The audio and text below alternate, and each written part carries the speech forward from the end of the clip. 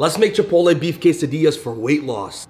Now, in a million years will you think that's a low-calorie recipe. You have to make these. I'm gonna be using this 92.8 grass-fed beef. Spray down your pan with light oil. Beef goes in. Give it a nice little ground and pound. Season it with a little Chipotle chili powder a little paprika and garlic, then just finish with a little salt and pepper. Instead of using regular chipotle peppers, I recommend using this chipotle salsa just because it's cooked down and it has tomatoes and onions. When the beef is almost done, spoon in some salsa. And this is just gonna give it plenty of flavor and moisture for essentially no calories. I highly recommend using these carb balance mission tortillas. They're high in fiber and have a little protein and they taste great. The entire tortilla gets some low moisture mozzarella on one half spoon on your beef. Once this cheese starts to get a little melty, we're gonna fold it on itself and press and then really let this toast for a couple minutes. Sauce is vital for this. I'm gonna do one part sour cream. I'm gonna do one part light mayo. Gonna spoon in a little bit of that chipotle salsa. Then we're just gonna season this with salt, pepper, garlic, and paprika. You gotta get a big dunk in your sauce. And as always, now bismillah.